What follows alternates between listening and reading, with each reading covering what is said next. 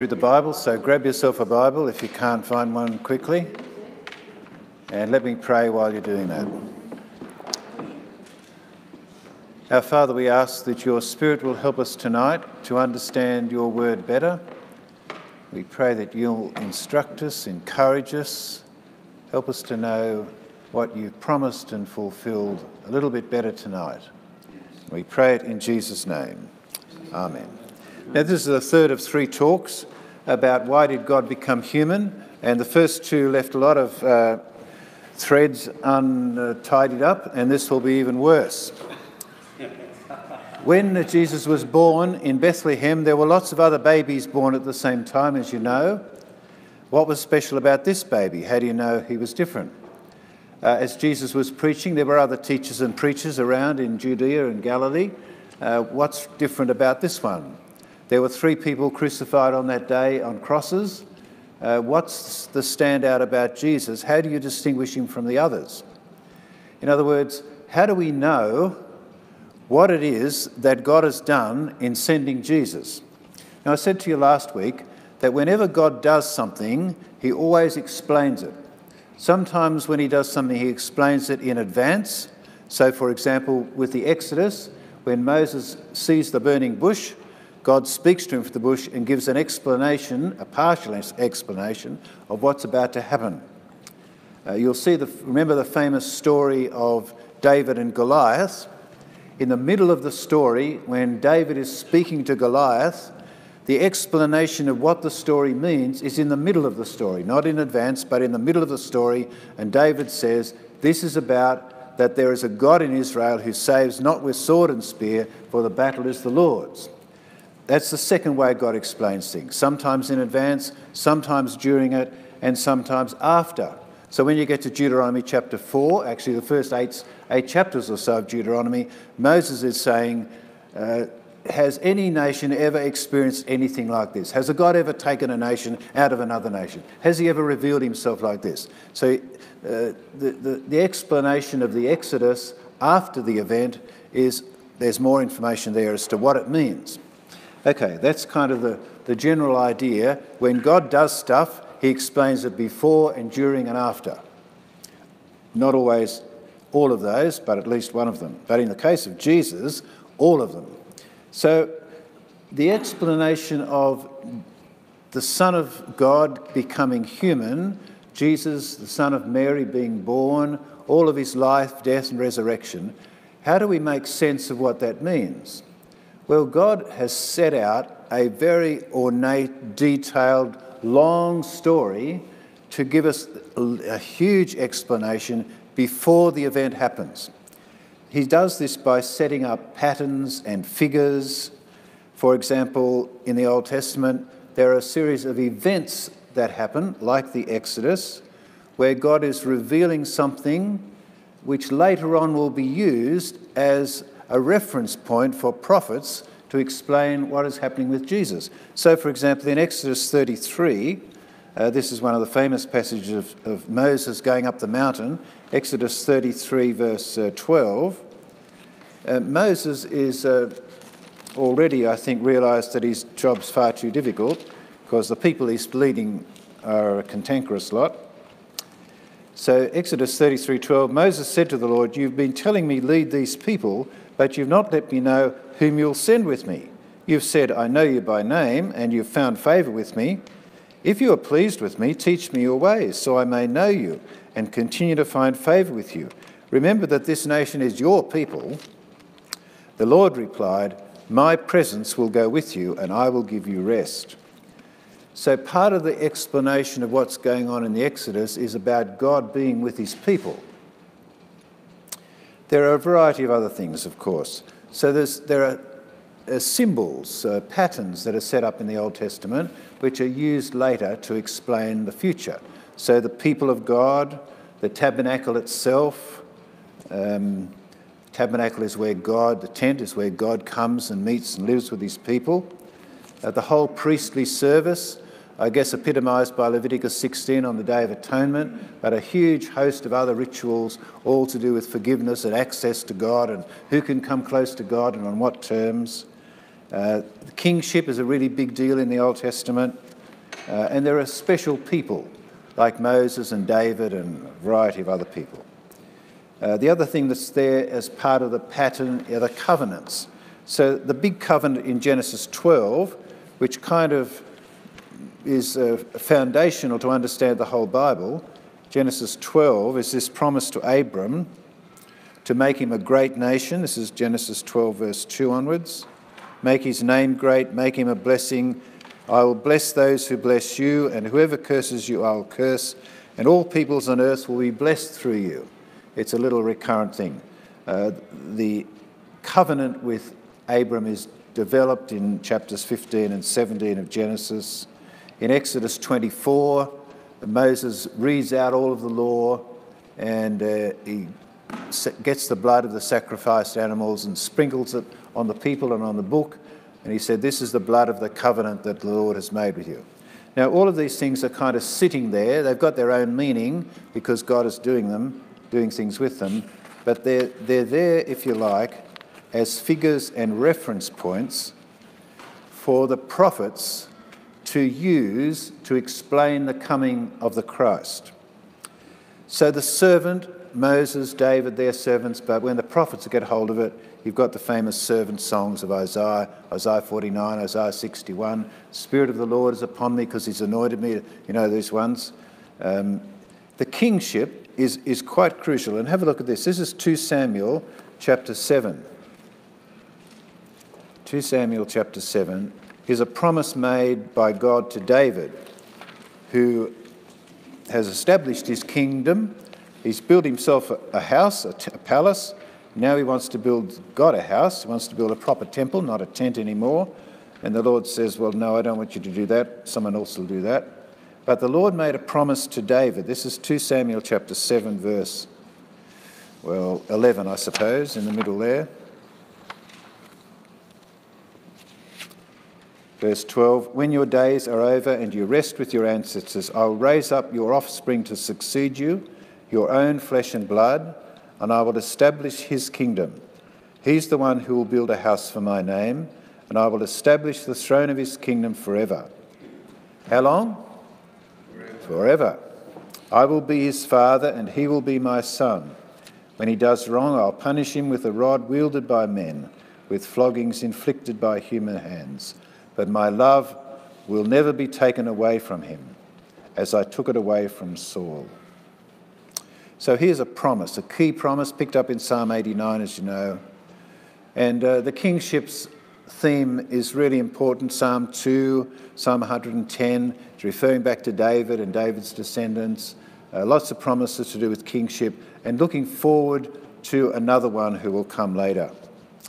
Um, God being with his people, uh, uh, Ezekiel 36 is a place to look. Uh, the famous ones we're going to see at Christmas, like Isaiah 7. We sang that song tonight. Emmanuel, that's Isaiah 7. But Ezekiel 36, have a look at that.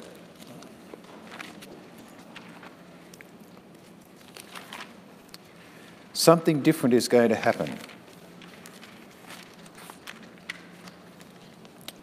This is Ezekiel 36 26. I will give you a new heart and put a new spirit in you. I will remove from you your heart of stone, and I will give you a heart of flesh. And I will put my spirit in you and move you to follow my decrees and be careful to keep my laws.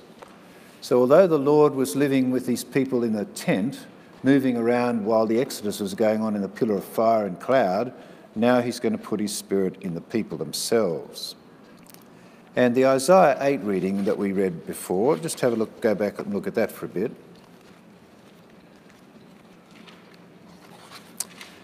Uh, it's important when you read Isaiah 9 to read Isaiah 8, because uh, although we only read Isaiah 9 at Christmas, it's in the context of the darkness of chapter 8, and the Lord is going to bring his light but the light that he's going to bring is going to come through this person.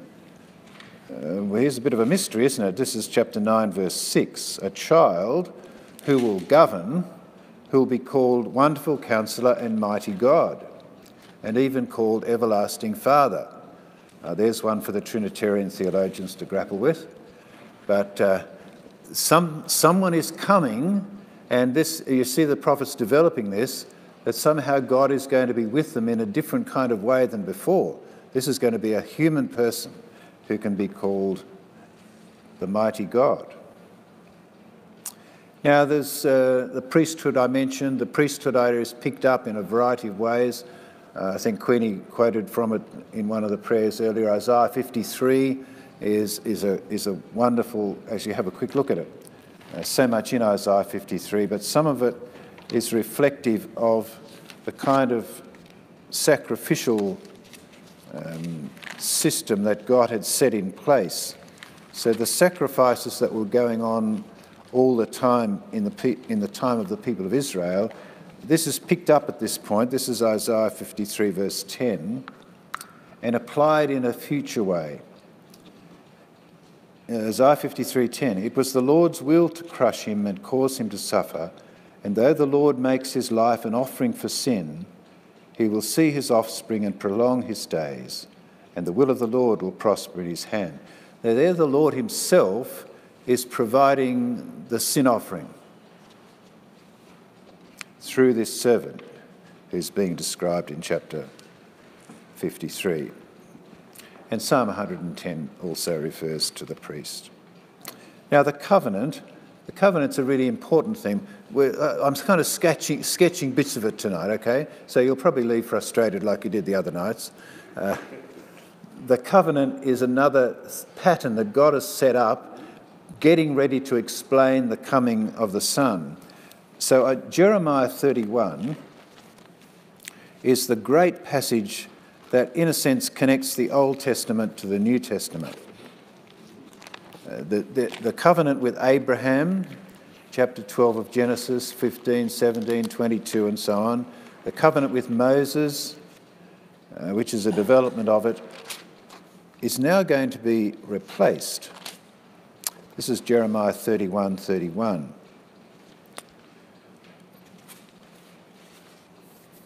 The days are coming, declares the Lord, when I will make a new covenant with the people of Israel and the people of Judah. It won't be like the covenant I made with their ancestors when I took them by the hand to lead them out of Egypt, because they broke my covenant, though I was a husband to them. This is the covenant I will make after that time, declares the Lord. I will put my law in their minds and write it in their hearts. I will be their God, and they will be my people. No longer will they teach their neighbour or say to one another, Know the Lord, because they'll all know me, from the least to the greatest, declares the Lord. For I will forgive their wickedness and remember their sins no more. So the law on their heart, sins properly forgiven, knowing the Lord, something in the new covenant is going to do what the old covenant, particularly under Moses, wasn't able to do because of the hardness of the heart. Now, there's a whole lot of other things, all, all sorts of other things we could go through in the Old Testament uh, the temple, the tent, the temple, uh, the Exodus, the exile, all sorts of things. What I'm, what I'm trying to suggest to you is that in the first place, God sets up these events and patterns and people, and then the prophets use them as a means of describing something that's coming in the future a future kingdom like David, a future king like David, uh, a future temple like that but different. Um, uh, a law and a, and a covenant no longer dependent upon the sinfulness of humans, but somehow realized on the inner being of people. A servant, a servant who's coming who will somehow be God himself. So the imagery is set up, the prophets are using it to tell you what's coming in the future. So when we get to the New Testament, uh, we're into Matthew now. Before Jesus is born, there's still more of what is basically explaining in advance what's going to happen and who this is. So, Matthew 1, verse uh, 21,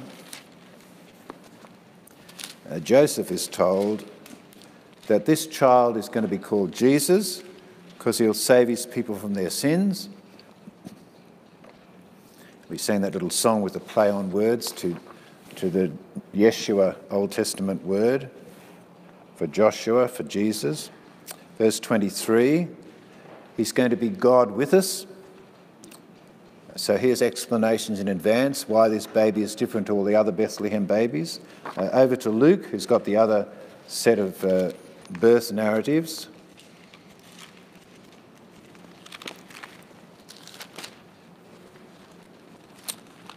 Luke chapter 1, uh, verse 33. We read some of this before. So Mary's told that her baby is going to be the Son of the Most High. He's going to have the throne of his father David, reign over Jacob's descendants forever. His kingdom will never end. There's 2 Samuel 7. See that? Um, chapter 1, verse 72. This is Zechariah, John the Baptist's father, telling us that the Lord is going to show mercy to our ancestors and to remember his holy covenant. Uh, finally, the agreement, the covenant is going to be fulfilled. So that's all in advance before the baby's born. There's huge amount of information pictured and represented by all sorts of patterns and things in advance tells you that something about this child. So when the child is born, at the time of his birth, we've got more explanation. So, Luke chapter 2, verse 11. This is the, the angels and the shepherds. So, the child that's born is a Saviour, Messiah, Lord. Three big words picking up huge amounts from the Old Testament. Uh, chapter 2, verse 29. This is old man Simeon waiting for the comforting of Israel for, for into his old age. Sovereign Lord, as you've promised, you may now dismiss your servant in peace, for my eyes have seen your salvation, which you've prepared in the sight of all nations, a light for revelation to the Gentiles and the glory of your people Israel. So there's Genesis 12, Isaiah 49, Isaiah 61, Isaiah 66. Uh, chapter 2, verse 27.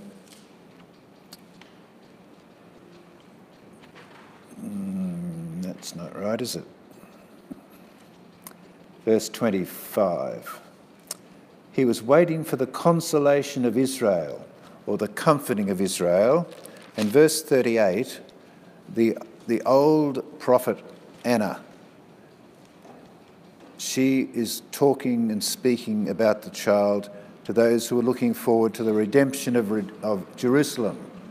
So here's all the Old Testament expectations summarized in a couple of words. These two old people have been looking forward to it, praying for it, and now, now they see the baby. How dramatic must have that been? Uh, but the promises are there in the Old Testament. So that's an explanation of what Jesus' coming was about, given at the time of his birth. But after he was born, Jesus himself explains a lot of it. So, Luke 4, you know this, he, he goes to the synagogue in Nazareth, reads Isaiah 61. He says, Today this has been fulfilled in your hearing. Um, in chapter 10 of Luke, a bit, bit that looks like it should have been from John's Gospel. No one has ever seen God, only the Son. He's revealing him, so he's explaining something about what he's doing. And then, of course, the apostles get onto it. John writes a whole gospel about it, particularly John chapter 1. Uh, Acts 2, on the day of Pentecost, Peter gets up and says, This is what this is all about. This is Jesus who, whom you crucified. Um, in Acts 13, Paul does the same thing um, and, and, tells them about basically the history of the Old Testament and the history of Jesus and what he's done and how God has used him. And he's been crucified, raised, ascended, and so on. And then uh, right through the New Testament. So Hebrews 1, verse, the first few verses, you know this. God spoke to our ancestors by many in the way in the past. Now He's spoken to us who, through His Son. So all through, they're going, they're looking back now, explaining afterwards what this was all about. So I'm telling you all of that, which you already know, of course, to underline how we know about this stuff. Because lots of Christians they basically only know what they heard in the last sermon, well, not the whole of the sermon, or, or, what they've seen on the internet, or they keep, and so sometimes they just keep repeating things without actually understanding or knowing where it came from. Now, I don't know how long we've been going, probably too long, but uh, we've only sketched a little bit, haven't we? Like there's a huge amount. We could go on for days and days and days and days, filling out how God in the Old Testament told about what was going to happen. And, and then in the New Testament, like the, the you, you see it in the, in the gospel writers. This is to fulfill what the prophet, this is what the prophet said, this is that. And Paul does the same thing. These things are written for our instruction. This is all Old Testament stuff. That was the scriptures. And the more we, the more we read them and understand them, the better we grasp who this person was and why he came and all that. Now, we sketched it, and you, and you know a lot of the story anyway, but I want to encourage you to keep reading it and reading it as a, as a big story. It's a big story that has a beginning and a middle and an end. And uh, all of the bits all the way through. So, the David and Goliath story, for example, is part of the big story. And, and what God is doing with David and Goliath is saving his people single handedly, like he did with Moses, like he did with the judges, like he does with Christ. The same story with little variations all the way through. And you understand it because you see it's part of the big story. Now, let me come to the end. I've lost my last page, but I know where it is. Colossians chapter 2. We're coming to the end. What are we to make of all this? This person who came, born as a baby, prophesied about, a king, the mighty God, Emmanuel, God with us, uh, the one who brought the light, the one who brought redemption and salvation, the one whom God set forward as a sacrifice of atonement through faith in his blood. It's Romans 3. Uh, what are we to make of this? How should we serve this person? How should we explain it? Well, here's a long little bit just to finish with. This is Colossians chapter 2, verse 9. For this reason, since the day we heard about you, we've not stopped praying for you. We continually ask God to fill you with the knowledge of His will through all the wisdom and understanding that the Spirit gives, so that you may live a life worthy of the Lord and please Him in every way. Colossians chapter 2, verse 9. So Colossians chapter 1 verse 9. What did I say? Chapter 2. Oh, I'm glad you watched, I'm glad you're paying attention. Colossians Colossians chapter 1 verse 9. And on the on the on the page of notes that I've lost, it also said chapter 2 verse 9. all right, we're all on the same page. All on the same page now? all right, let's start again. Chapter 1 verse 9. For this reason, since the day we heard about you, we've not stopped praying for you we continually ask God to fill you with the knowledge of His will through all the wisdom and understanding that the Spirit gives, so that you may live a life worthy of the Lord and please Him in every way, bearing fruit in every good work, growing in the knowledge of God, being strengthened with all power according to His glorious might, so that you may have great endurance and patience, and giving joyful thanks to the Father, who's qualified you to share in the inheritance of his holy people in the kingdom of light. For he's rescued us from the dominion of darkness and brought us into the kingdom of the Son he loves, in whom we have redemption, the forgiveness of sins. The Son is the image of the invisible God, the firstborn over all creation. For in him all things were created, things in heaven and on earth, visible and invisible whether thrones or powers or rulers or authorities. All things have been created through him and for him. He is before all things, and in him all things hold together. And he's the head of the body, the church. He's the beginning and the firstborn from among the dead, so that in everything he might have the supremacy. For God was pleased to have all his fullness dwell in him, and through him to reconcile to himself all things, whether things on earth or things in heaven, by making peace through his blood shed on the cross. Once you were alienated, alienated from God and were enemies in your minds because of your evil behaviour. But now he's reconciled you by Christ's physical body through death to present you holy in his sight, without blemish, and free from accusation if you continue in your faith, established and firm, and do not move from the hope held out in the gospel. This is the gospel that you heard and that has been proclaimed to every creature under heaven, and of which I, Paul, have become a servant. Well, that's quite a good summary of the whole thing, isn't it? Mm-hmm. He's redeemed us, rescued us, to present us holy in his sight